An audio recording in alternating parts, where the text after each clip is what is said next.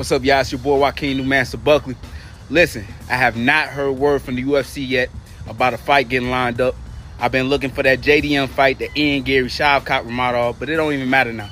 It doesn't matter who I fight at this point. I want to fight in August. I want to fight in September. All right. So this is a call out to everybody in the welterweight division. If you want to see your boy, please let me know. And also, I'm gonna make it a little addition. If you knock my ass out, I'm gonna give you 25,000 extra out my own pocket. Hello, Mr. Buckley. Lazy King here. First of all, good morning, good afternoon, good evening. How are you, sir? After all, we are gentlemen, so let's not forget our manners. And I'm the one who accepts your challenge, so I'm ready to fight you September 2nd in Paris.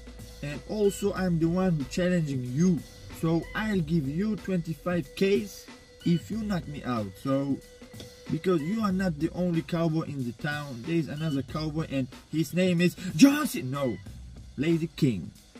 So, how we can see, I'm already in my car and ready to go. And this video was produced by Lazy King Entertainment and thank you very much for.